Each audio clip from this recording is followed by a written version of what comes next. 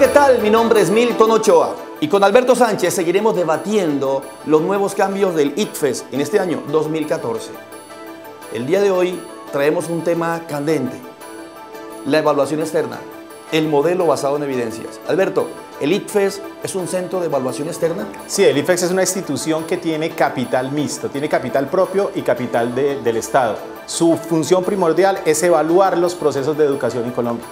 Entonces, es un centro de evaluación externa. ¿Por qué evalúa externamente? ¿Qué quiere? ¿Cuál es la función? ¿Hasta dónde llega el ITFES? Bueno, la función del IFEX es verificar que los lineamientos y los estándares del Ministerio de Educación se apliquen en los colegios, ¿cierto? Y ellos realizan pruebas para mirar cómo las instituciones educativas se están apropiando de esos, conocimientos. Entonces tiene dos objetivos primordiales. Digamos, uno, entregar la información de todo el país al Ministerio de Educación para que ellos hagan monitoreo y otra, entregar la información puntual a cada una de las instituciones educativas para que identifiquen cómo van sus procesos de formación internamente. Muy bien, para esto el ITFES utiliza un modelo, el modelo basado en evidencias. Miremos. ¿Qué tal si hablamos del modelo basado en evidencias en este programa? Sí, yo creo que es un tema que es muy desconocido y que entrega muchísima información cuando se conocen las instituciones educativas. Muy bien. Miremos. En el 2006, por decir eh, un año cualquiera, el ITFES aplicaba, piloteaba la pregunta X y el acierto eh, era el 45%. En el 2007, el ITFES volvió a aplicar la misma pregunta, pero ahora el acierto fue del 46%.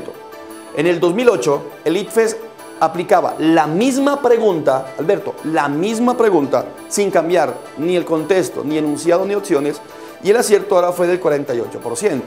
En este orden de ideas, el ITFES nos decía a toda la comunidad educativa, comenzando por el Ministerio de Educación Nacional, estamos subiendo. ¿Por qué decía que estamos subiendo? Porque el mismo instrumento lo aplicó en tres momentos diferentes. Pero esto era objetivo. No, no, es objetivo desde el punto de vista que estamos evaluando competencias. ¿Qué es una competencia según el Ministerio de Educación? Saber hacer en situaciones concretas. Cuando el estudiante se enfrenta a estos escenarios, ¿qué hace? Simplemente identificar la situación y para la primera promoción que presenta la pregunta es una competencia porque no sabe cómo actuar en esa situación. Pero si la pregunta es reiterativa, se sigue presentando, lo que hacen es que pasan la información de una promoción a otra y el estudiante simplemente lo que llega es a identificar si se encuentra con una pregunta que ya ha trabajado antes y ya sabe cuál es la, opción correcta. O sea que existía la posibilidad que este grupo de estudiantes conociera la pregunta y la respondiera solo por conocimiento. Por memoria. Perfecto. Igual aquí. E igual ahí. Muy bien. Los estudiantes que efectivamente, objetivamente hablando, eran evaluados por competencias, era la primera aplicación. Sí, la primera aplicación era la que se evaluaba por competencias. ¿Por qué? Porque era una situación totalmente desconocida para la persona que está presentando la evaluación. Los siguientes, si ya tienen información de la pregunta como tal, pues ya no va a ser incompetencia, sino simplemente es un, un, escenario conocido, una respuesta conocida, una capacidad de memorizar la respuesta y entregarla en una hoja de respuesta. La pregunta era, ¿por qué el IFES repetía las preguntas? Alberto, ¿por qué crees que el IFES repetía preguntas?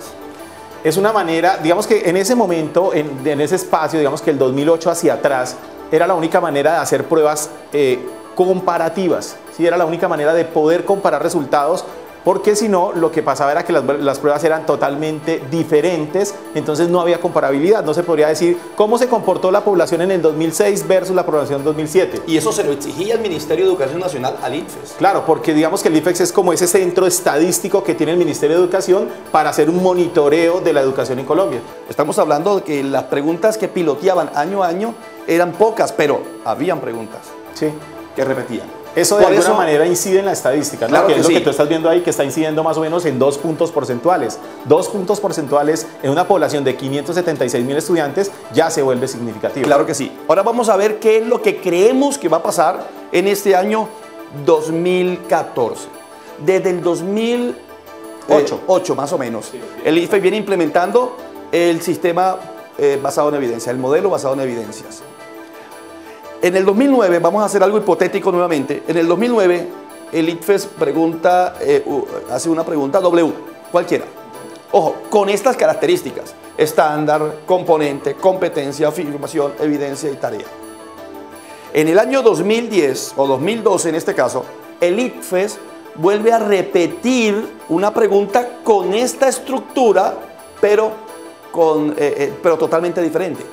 Evalúa la misma tarea, la misma evidencia, afirmación, competencia, componente y estándar, pero es otra pregunta diferente, que evalúa lo mismo. Y en el 2015, el ITFES va a repetir la misma tarea, la misma estructura, pero con una pregunta diferente. Pero estas tres preguntas pueden ser comparables con el tiempo. Eso es lo que hace el modelo basado en evidencias. Entonces, hablemos, ¿qué es el modelo basado en evidencias? El modelo basado en evidencias es una herramienta estructural para plantear una pregunta. Entonces, así como, digamos que la analogía que podría entender las instituciones educativas es, así como yo tengo en el colegio una estructura curricular y un diseño curricular para llegar al aula de clase, asimismo, cuando uno formula una pregunta, existe una estructura para llegar a hacer una inferencia cada vez más cerca de lo real. Muy bien. Entonces, hablemos del modelo basado en evidencias, pero vamos a compararlo con el diseño curricular. ¿Qué te parece? Es algo genial. Yo digo que en este momento la, dificultad más grande que hay en las instituciones educativas es que no hay cómo hacer ese paralelo que propone el profesor en este momento y que parece, parece muy interesante. ¿Por qué? ¿Para qué están sirviendo en este momento los resultados del IFEX en las instituciones educativas? Simplemente para en qué puesto quedé, ¿cierto? ¿En qué nivel me clasificaron? Y no más. No sirve para nada más. Cuando nosotros conozcamos y si hacemos un buen programa en este momento y podemos transmitirle a las personas ese paralelo, seguramente esa información les va a servir para hacer planes de mejora, que es para lo que sirve la evaluación externa. No podemos discutir que toda la información maravillosa que entrega el ICFE, los datos, son para mejorar. Lo que pasa es que creo que tenemos una falencia en las instituciones educativas en el manejo de los datos. Perfecto, sí. ahí hay una cadena rota. Hablemos entonces de la estructura. Alberto. Bueno, la estructura que estamos presentando en este momento es, hay una parte importante que hace el, el, IFEX como tal. Y este modelo que está presentando es totalmente del IFEX, o sea, las instituciones educativas ahí no entran en nada. ¿Quién entra a conocer esto? El constructor, la persona que contrata directamente el IFEX para formular la pregunta. Ellos son los que hacen todo este diseño. Entonces ahí tenemos, el diseño como tal es, está compuesto, si ustedes dan cuenta, en la parte de abajo lo último que se construye es la pregunta, pero se comienza a estructurar desde la parte de arriba. Y la parte de arriba tiene que ver con los estándares, y eso lo especifica el Ministerio de Educación Nacional. Perfecto, la, comienza estándares, estándares diferentes para el IFEX y estándares diferentes para el colegio, no, o un solo estándar. Yo creería y estoy seguro que son los mismos estándares. Es un solo estándar. Entonces, perfecto. Ahí está lo que une la evaluación externa con una institución educativa. ¿sí? Sigue, componente. ¿Qué es el componente? El componente simplemente es una agrupación de temas ¿cierto? que proponen los estándares para que en el momento que se haga la pregunta se perfile la temática que se va a evaluar. En este caso, por ejemplo, en física, eh, electromagnetismo, mecánica, ondas, etc. Perfecto, sí señor. Esa sería en ese caso. Sigue la otra parte que son las competencias. Ahí sí hay un cambio, ¿no? El colegio como tal maneja diferentes competencias, competencias emocionales, competencias afectivas, competencias sociales, ciudadanas, laborales. Perfecto, una cantidad de componentes, perdón, de competencias que hacen que una persona se pueda desenvolver en una sociedad. Pero en este caso, creería que se va a evaluar solo competencias básicas. Exacto. El IFEX solo evalúa una competencia que se llama la competencia cognoscitiva, ¿sí? la competencia del conocimiento. Muy bien, eso está clarísimo. Ahora, sigue lo que son las afirmaciones, ¿cierto? Las afirmaciones para el IFEX son, digamos que la, la propuesta de lo que se va a trabajar, cuál es el objetivo como tal de la pregunta, ¿cierto? Y en los colegios también tiene que haber esa afirmación en el diseño curricular. No se llama afirmación, se llama logro o desempeño, dependiendo cómo tenga el desarrollo curricular del colegio, ¿cierto? Si bajamos a las evidencias, las evidencias son los, digamos que en cómo desagregamos las afirmaciones, hacer conceptos muy grandes, cómo las desagregamos y las colocamos ya en temas puntuales como tal. que en las instituciones educativas se llamarían los indicadores de desempeño o los indicadores de logro de acuerdo a cómo tenga el diseño curricular, ¿cierto? Ahora, miramos las tareas. Las tareas para el IFEX son los aspectos puntuales a trabajar, puntuales a trabajar. Mientras que en, el colegio sería el plan o, el, planeador de clase, que conocemos todos los colegios. Muy bien. Sigue la pregunta. ¿ah? Y ahí sigue la pregunta. Mira todo, lo que, mira todo lo que ha pasado para entregar la pregunta. Bueno, podemos eh, inferir que en el aula de clase lo primero que se hace es la pregunta desde la pregunta, obviando el paso original que es hacerla desde el estándar. Sí, perfecto. Yo creo que ese, digamos que esa es, la, esa es la ruptura que hay más grande. Cuando un profesor evalúa internamente, el profesor evalúa como tal su clase lo que está pasando en la clase. Si esta clase está amarrada a todo el diseño curricular, pues hay una coherencia total, ¿cierto? Pero si la clase está desarticulada, o sea, el profesor simplemente trabaja la clase, se inventa la clase día a día, pues ya hay una, hay una ruptura entre el diseño curricular y la evaluación interna. Muy bien. Vamos a ver un ejemplo del modelo basado en evidencias. Miremos.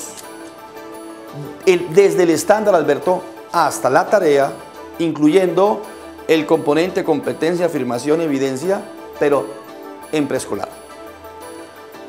Donde vamos a evaluar el proceso de amarrarse los cordones de los zapatos. Miremos a ver.